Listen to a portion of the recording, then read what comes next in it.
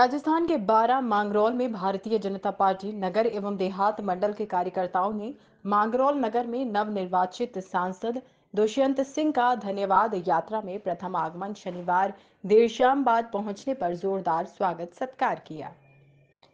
मांगरौल नगर मंडल अध्यक्ष पीयूष विजय और देहात मंडल अध्यक्ष दिलीप मीणा ने माल्यार्पण कर और साफा बंधवा कर गर्मजोशी से स्वागत किया। इसके बाद सभी जनप्रतिनिधियों और नगर एवं देहात के कार्यकर्ताओं ने भी सांसद का फूलमालाओं से स्वागत किया। मंचासीन रहे विधायक और सांसद ने कार्यकर्ताओं को संबोधित करते हुए ऐतिहासिक जीत दिलवाने के लिए सभी भाजपा कार्यकर्ताओं और क्षेत्र के सभी मतदाताओं का धन्यवाद देते हुए आभार व्यक्त किया।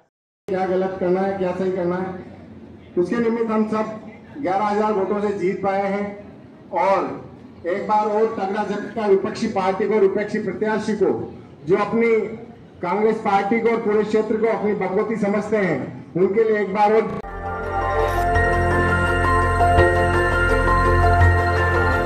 देखते रहिए डीबी भारती समाचार नज़र हर खबर पर।